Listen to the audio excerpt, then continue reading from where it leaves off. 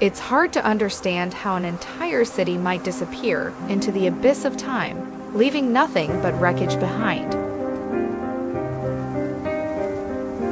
Cities have risen and fallen throughout history, whether as a result of war, natural disaster, climate change, or other factors. It took archaeologists centuries to discover some of these settlements, like Phaselis, after they had been all but forgotten by time.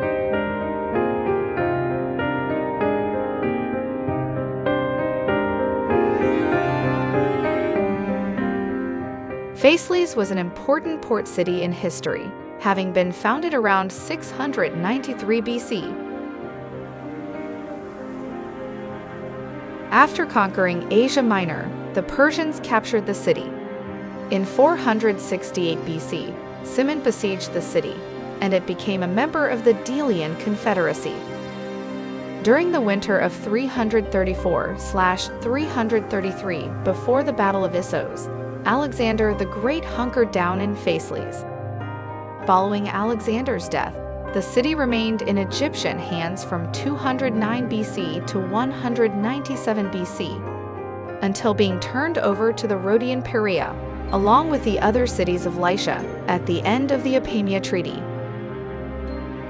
From 190 BC to 160 BC, it was ruled by the Rhodians, but after 160 BC, it was included into the Lycian Confederacy, which was ruled by the Romans.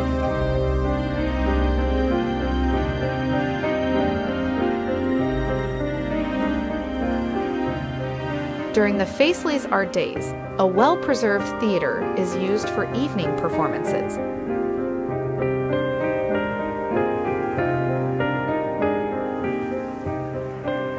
In the 1st century BC, Phaselis, like Olympos, was often threatened by pirates, and the city was even taken over by the pirate Zeniketes for a time before being defeated by the Romans.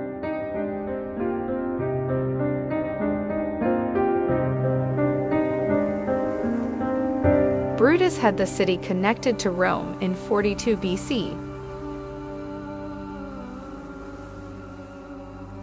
The harbor was once again threatened by pirates in the 3rd century AD. As a result, it began to fade in importance, suffering repeated casualties at the hands of Arab ships until it was completely depleted in the 11th century.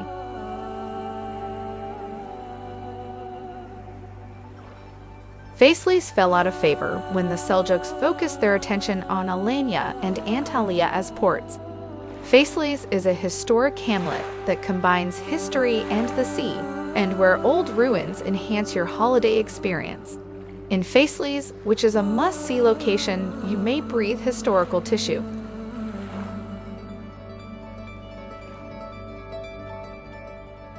Phaselis became one of the most prominent cities in the Lycian Union after joining the alliance. The city was the region's oldest town, and it quickly flourished and prospered thanks to its trading activity. When the Lycian Union came apart, it, like all other port cities, fell under the hands of pirates.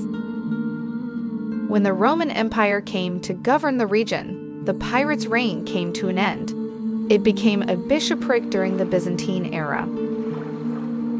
It was influential until the 3rd century AD, when it began to fade.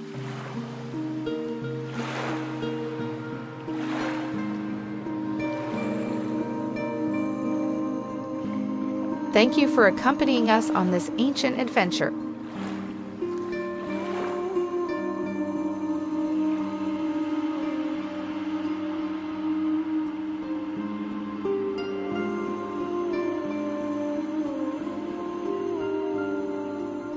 To stay up to date with our latest videos, make sure to subscribe to our YouTube channel. Thanks for watching.